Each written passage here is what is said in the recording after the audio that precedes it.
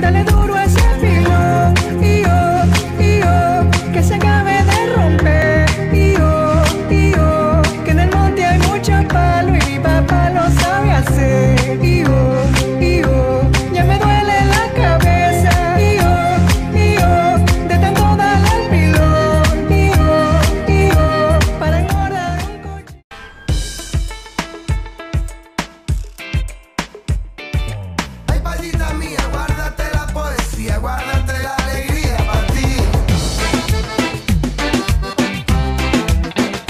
Evet Dani'nin Dünyası programı hoş geldiniz. Öncelikle e, öncelikle ben size teşekkür etmek istiyorum. Bana gönderdiğiniz e, mesajlar hepsini okuyorum tek tek yorumları teşekkür ediyorum. Herkese selam gönderiyorum. Her haftada gibi e, her pazartesi daha doğrusu saat 15'te biz karşınızda güzel bir konuk ile geliyoruz. Bu hafta merak ediyorsunuz tabii ki ne hazırladım ben size. Bu hafta çok güzel eğlenceli bir konu bekliyor size. Bu hafta Elnur Can evine geliyoruz. Geldik daha doğrusu. Elnur Can'ı her zaman siz sadece sahne gördünüz, televizyonda ama onun dışında hayatı nasıl yaşıyor, neyi besleniyor, ne seviyor, ne sevmiyor, nasıl eğleniyor? Onu hep beraber birazdan gideceğiz ve onun kapıyı çalacağız. Hazırsınız hep beraber gidelim. El hombre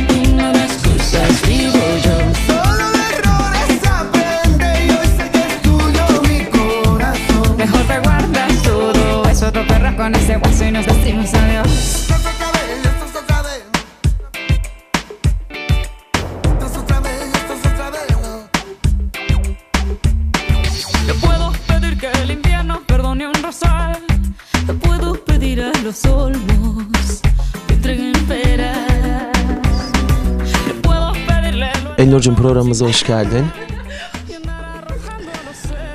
E, baban, a- annen hep seni şey marangoz olmanı istemişler ama sen marangoz. Kırık kapılardan birazdan gösteririm. Marangoz olmanı istemişler ama şarkıcı olmuşsun. Nasıl bir duygu? Sanatçılık nasıl bir duygu? Anlatır mısın Elnur'cum? Lütfen Elnur'cum bak lütfen bak. Lütfen anlat.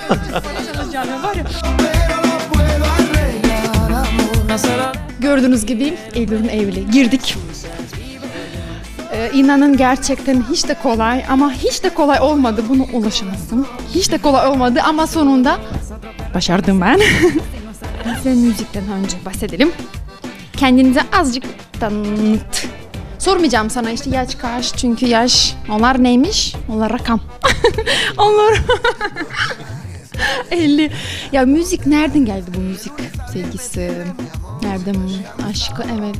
Öncelikle hoş geldiniz. Mikrofonu ben tutabilir miyim?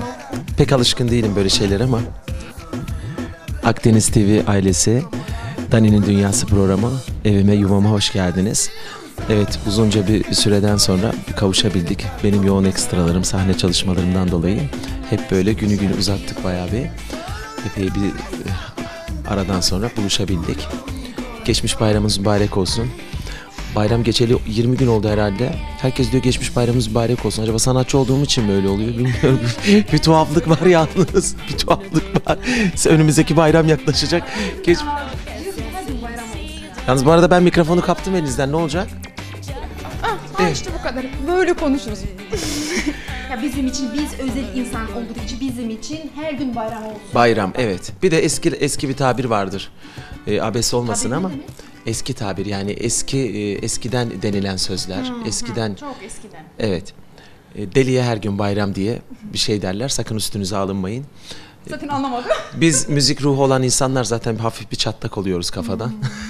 Ama güzel. Çünkü delilik olmasa doğruluk çıkmıyor. Falan. Sen ilk ilk sahnedeki performans hatırlıyor musun yani? İlk sahne performansımı. Heyecanlı, hı, ne hissettin sen? Ben Vallahi ilk sahne performansımı hayal meyal çok hatırlıyorum. eskiden değil mi? Ne zamandır şarkı söylüyorsun sormayacağım. Evet çok Büyük eskiden. İki yıl oldu çok eskiden. İki yaşındayken. İki yaşındayken falan. İlk performansımı hatırlıyorum çok güzeldi. Heyecan var mıydı? Evet heyecan zaten her zaman var. Çünkü heyecan olmadan hiçbir şey olmuyor. O duyguyu Almıyorsun karşı karşı. taraftaki insanlara da aksettiremiyorsunuz, işleyemiyorsunuz. Duygu olmadan şarkı söylenmez. Duygu olmadan resim çizilmez. Duygu olmadan bir e, spikerlik yapılmaz. ya da ne bileyim duygu olmadan eline bir kamera alıp böyle insanlara ne istediğini ulaştıramazsın. Yani oldu o mu? duyguları sen veriyorsun. Can Dost'a da buradan şimdi e, güzel sözlerle yarım elma gönül alma gibi oldu biraz ama Ay ben pek şeyleri biraz Türkçe ben tam anlamıyorum. elma yarım elma o neymiş? yarım elma işte pazara gittim ben önümüzdeki e, şey, geçtiğimiz e, pazar pazarına gittim. Canım elma istedi. İşte yarım kilo elma aldım. Oradan alıka alıka geldim yani.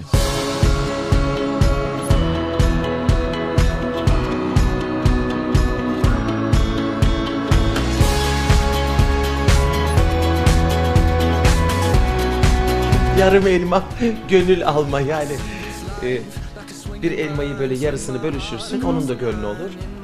Benim de gönlüm olur gibi anlamında. Mesela bu tablodaki e, şey arkadaşların da gönlü olmuş olur. Yarım elma. Picasso'nun son eseri.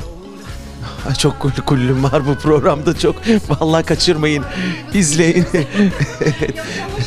Meyve suyu içiyor. Picasso'nun eserine doğru döndük oturduk. Meyve suyu içiyoruz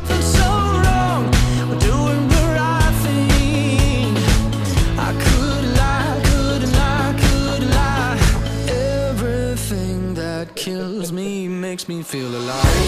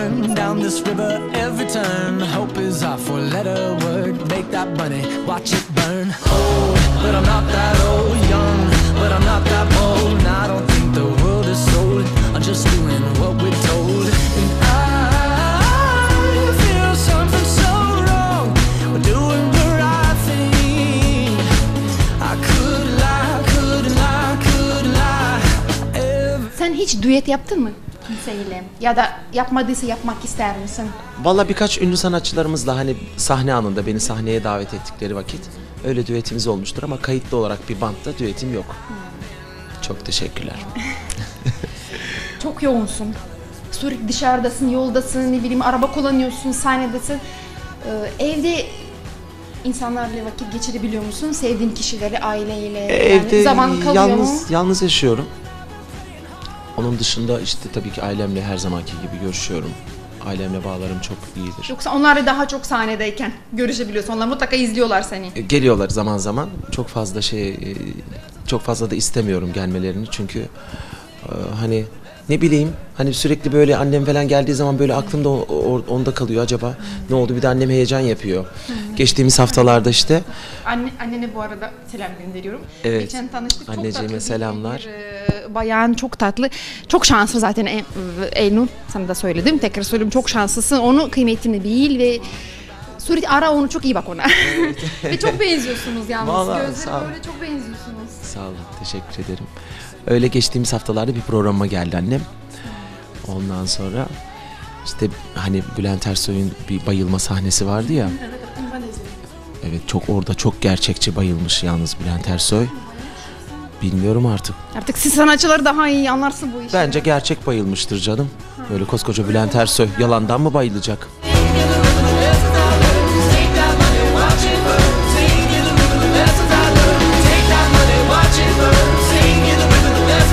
Neyse. Eyvah misafir geliyor herhalde. Eylül'ün evi maşallah hiç kapıları kapanıyor. Evet. Dışarıda kalsın. Bence de kapı dışarıda kalsın. Açmıyorum kapıyı görüyorsunuz değil mi? Hiç umurum olmaz. Kapı aç pencereden girsin. Velhasıl ha, bir şey anlatıyordum işte e, annem programa geldi izlemeye. Ben de oradan mahsustan hani ta- taklit anlamında ben de bayıldım sahnede. Sen bayıldın. Evet. Ha numara yaptın. Numara Ha, yaptım. hı. Bülent Hanım'ı ta- e, taklit gibi böyle bir şov anlamında. Anne de korkmuştur. Yazık kadıncağız. Ciddi Annem gerçekten bayılacaktı bu sefer korkudan. Oğluma bir şey oldu diye feryat o insanların içinden böyle ite kaka herkesi. Yok Endur'uma bir şey oldu dizlerine vura vura. Peki niye bayıldın sen? Ben öyle hani espri olsun diye o dönemde böyle bir şey oldu. Herkesin dilinde işte Bülent Ersoy. Ama herkes anlamışlar yani. Sen İnsanlar iyisin. evet an- anladılar Yazık, onun bir anlamamış olduğunu. ya. Babacım bir yarım saate bir kapıyı açıp geleyim. tamam. Şey e, yöneticiye borcum var da 250 lira. Sen öde de gel hadi.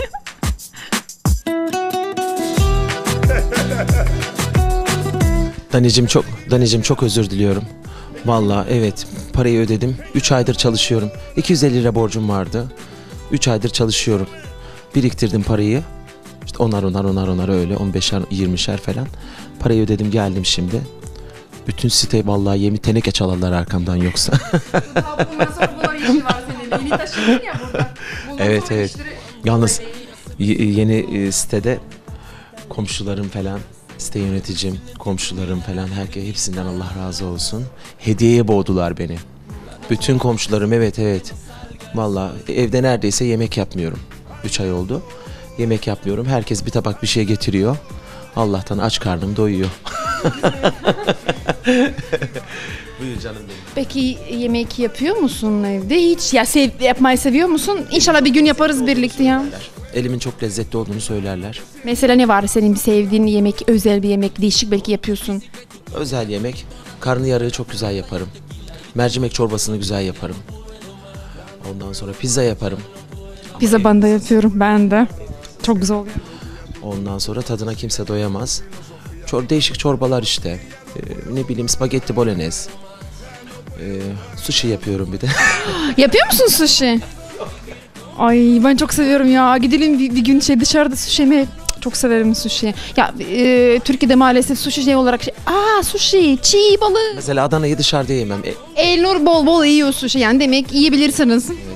Adana yok sushi pek tercihim değildir. Öyle espri olsun diye söyledim. E, mesela e, dışarıda yemem Adana'yı falan. Ev Adana'sını seviyorum. Evde yaparım ben Adana'yı böyle. Bu kadar yani. Tek başına hiç anneden yardım. Hiç kimseden yardıma ihtiyacım yok Allah'a şükür olsun. Ben böyle her şey. İnşallah bir gün yaparız birlikte yemek ya. Tek olsam bile mesela evde kendime bir şey hazırlarken öyle mum falan yakarım severim böyle. Keyifle o ekmekleri kızarttığım ekmekler bile hepsinin yönü tek yöne bakacak. Öyle Nasılsın yani fena? var sanatçılık. Yani yapacak bir şey yok. Var var. Sanatçılık derken e, şey sormak istiyorum. Sahnede en uzun performans seninki kaç saat sürdü? Vallahi en uzun performansım kadar dayanabiliyorsun sen? malum yılbaşı geceleri oluyor. Ya da e, düğünlere, organizasyonlara, bayi toplantılarına çıktığım vakit saat 9'da falan sahne alıyorum. Tahminen 12 gibi falan bitiyor sahnem. 12'den sonra da bar sahnem olduğu için bir de e, 12.45'te bir de falan kendi sahneme çıkıyorum her zamanki e, sahne aldığım kulüp Riç'te. Çarşamba, cuma, cumartesi oradayız. Üç gün yorucu oluyor benim için. Ama tabii ki işimi severek yaptığım için bana pek yük olarak bunu e, görmüyorum. Evet, yük olarak görmüyorum. Keyif veriyor bana. Sahne bana güç veriyor. Bazı sanatçılar çalıştığı vakit yorulurlar. Ben çalışmadığım vakit yoruluyorum. Çok teşekkür Yani şunu öğrenmek istiyorum. Ee, dışarıda tabii ki sahnedesin daha çok dışarıda. Evde geldiğin zaman müzik ilgili bir şey var mı? Yani müzik dinlemek ister misin yoksa tamamen sessiz olsun diyorum. Sessiz olsun. Valla çok nadir müzik dinliyorum evde. Hani sürekli bir de ben repertuarsız çalışan herhalde nadir sanatçılardan biriyim. Her şey hafızamdadır, beynimdedir her şey. Eskiler, yeniler. Ee, zaten iki defa dinledim mi onu ben fotokopi gibi alırım şarkıyı. Öyle sürekli kulağımda Walkman, evet hafızası düşük gerizekalılar gibi böyle şey. Öyle dolaş. Ya inanmayın tabii ki bunu ya. Aa.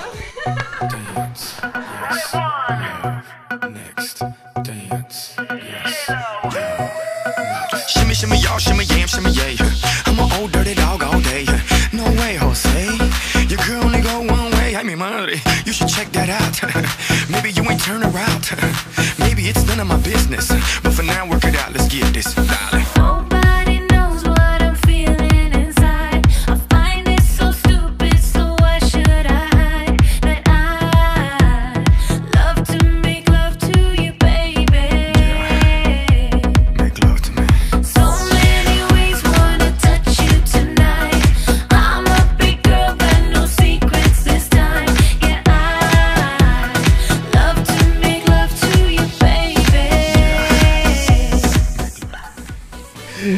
Yatağım müzi- müzikli benim yatağım.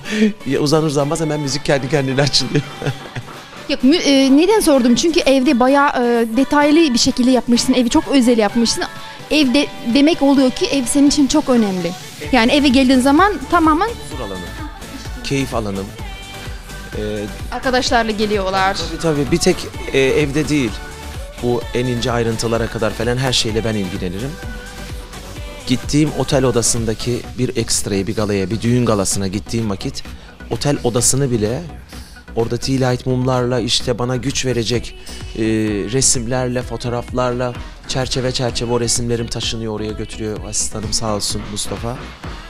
Yani bu bana güç veriyor. Ben bu şekilde güç alabiliyorsam e, bu şekilde uyguluyorum. Yani sahne hayatımda böyle evdeki gibi keyifli. E, peki ailede e, müzik ilgili birisi var mı? Yani nereden geliyor bu yetenek mi? Belki anne, baba ya da bilmiyorum var mı öyle? Valla kardeşlerimden birine annem Bu arada kaç kardeşiniz? beş kardeşiz. En ufak sen misin yoksa? En, en ufak benim öyle diyeyim de. Öyle mi? Yok ortancayım ben. En ufağımız var tekne kazıntısı Kaan.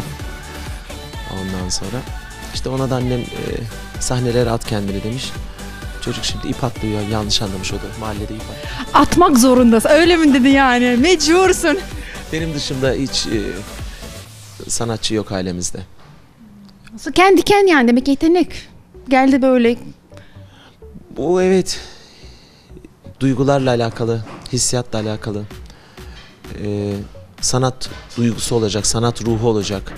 Sanat ruhu olmayınca dediğim gibi sonradan ya da ben işte benim sesim güzel eğitim alayım, şarkıcı olayım falan bu- bu- bunlarla içte olacak konuşmak, e, davranış, ahlak bunların hepsi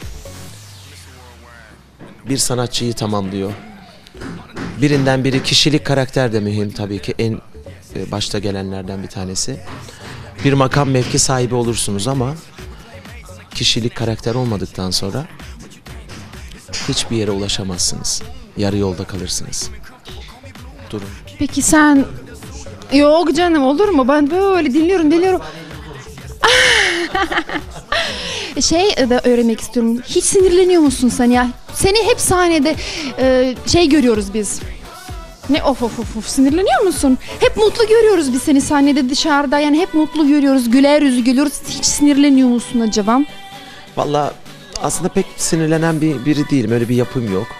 Bir de hani bunu insanın sinirlenen çok sinirlenen insanlarda da eksiklik olarak görüyorum. Yani açıkçası sen insana böyle nasıl olsa öyle öyle şekilde kabul ediyorsun. Çünkü her insan farklı. Ya mutlaka öyle ama e, sinirlendiğim anlar da oluyor. Kendime söz geçiremediğim anlar da oluyor. Bazen bende şey var. Mesela daha hani bir şey e, şey yapmadan karşı tarafın beni zor anlaması ya da işaret dili vardır. İşte sahnede bazen e, şey oluyorum hani birden böyle bir celalleniyorum. Ondan sonra ama Sakinleşiyorsun.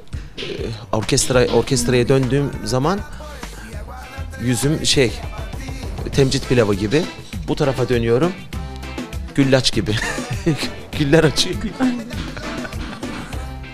İnsanların olduğu tarafa doğru dönüyorum. Bu arada ben konuşa konuşa konuşa uzandım buraya. Burası ko- şey çok çok güzel ya. Ay senin evine bayıldım ya. O kadar güzel şeyler. Gittim açtım. Bir de yarım saat kestireyim ben burada böyle. U- uyurken böyle uyur gezer ya da uyur konuşurlar vardır böyle.